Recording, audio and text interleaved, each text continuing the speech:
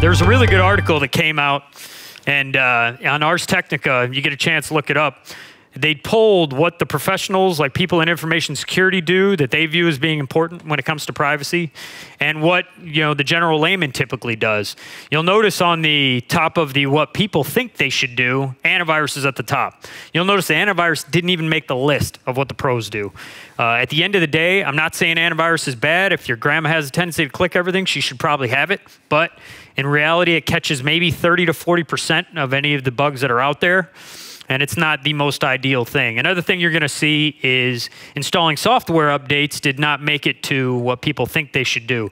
That is probably the most critical thing you can do ever because they're always finding new security patches or they're always filling new security patches. They're always updating various software to harden different things. Adobe Flash gets updated like once a day because it gets hacked all the time, much like Java. And much like, even though Apple, most people used to believe, oh, you know, it's Apple, it's secure. I don't, I don't need to worry about it. Apple doesn't get hacked. Well, it's, that's not true. Apple just does a much better job of hiding when they patch stuff. Apple's like, check out all these cool features. No, oh, by the way, we fixed about 100 security things too.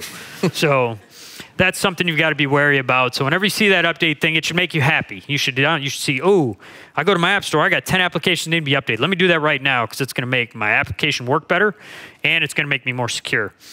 Um, using unique passwords did not make the list for folks that, uh, or for the typical layman folks. That falls right in line with using strong passwords for the pros. And the reason being is, say I've got my LinkedIn account how many people know what happened to LinkedIn in the last two years? There was a big data breach, or they lost something like 13 bazillion accounts. Say you're a guy that's got a LinkedIn account and you've got a super strong password. It's 99 characters long, special stuff, and uppers and lower cases and numbers, and that just got put in a dump. Well, they can now use that super strong password is that, yes, absolutely, technically it is a secure password. But if you're using that for email, Facebook, and all these other things, the first thing they're trying are things from these password databases. And just to give you an idea of how big a lot of these password databases can get, your average text file, if you create something, put a little note in your desktop, maybe a couple kilobytes, could be 100 kilobytes.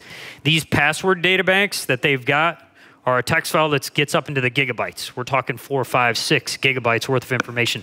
That is a lot of text. So it is very important to have unique passwords amongst all of your accounts. Now, how do you do that? Use a password manager. Password manager also did not make the what the pros or um, what the regular person thought was important. That is because no one can remember a 99 character password and remember it amongst 99 different accounts. Password manager is great. Use them. Um, best practices for email. We've got use a strong and unique password. We just kind of drove that home. Two factor authentication is your friend. Most of your major accounts do that. Your Gmails, your, I'm not sure about Yahoo, don't use Yahoo. Um, Facebook, you know, Twitter, Amazon, they all use two factor authentication.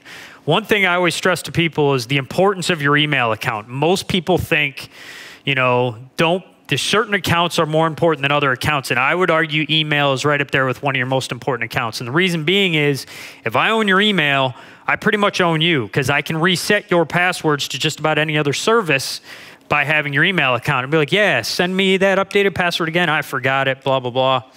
And you can go and reset it with that. You know, confirm suspicious attachments and links.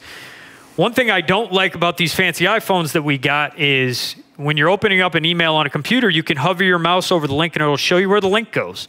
If you're getting an email that says it's from Bank of America and you hover over the link and it says it's going to I'm going to own all your crap.com, you probably shouldn't click on that. One issue I have with the iPhone though is the only way to really check a link is to hold your finger on the link until it pops up so you can see what the link is. The problem is if you don't hold enough, you don't hold long enough, you click the link and you just owned yourself. So I hope they work out that feature and make that a little better. Another thing to do is look closely at the sender's email address. There's a lot of people spoofing big companies' email addresses. I'll spell Verizon, V E R I S O N. A lot of times it's not easy to catch some of these things. Some companies will go and buy a lot of these other domains just to try to prevent that, but they can hardly get them all and they don't want to own 300 different domain names that are off by numbers.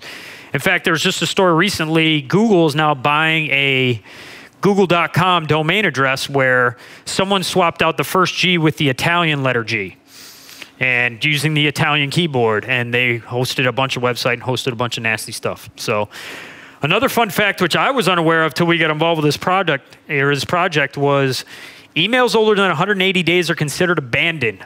Law enforcement does not need any excuse to look at those emails and read those emails. They don't need to contact you.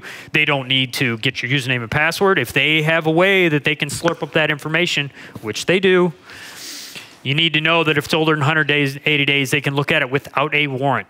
So it's in your best interest to start to purge the nine years worth of archived emails you have in that super sweet Gmail account that you got back 10 years ago when you were in junior high school. So do not use a simple password. Do not click on suspicious attachments and links. We talked about that a little bit a, sec a second ago. Do not enter any personal information to a pop up. For the most part, no website unless they're really terrible at their application security, will ask you to click on a link and input information in order to update passwords, update information, insert social security numbers, that kind of stuff. So just assume that you've been phished. If you click on it and it pops up, just don't do anything with it, close it out.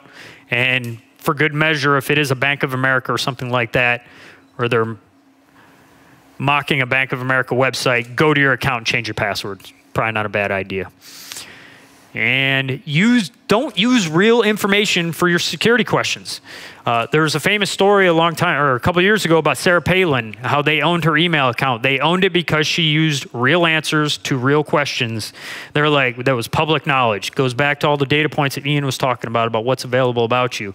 Like she probably had something like, "Oh, what state was I governor of? Oh, I was Alaska." So they picked that, and then they figured it out.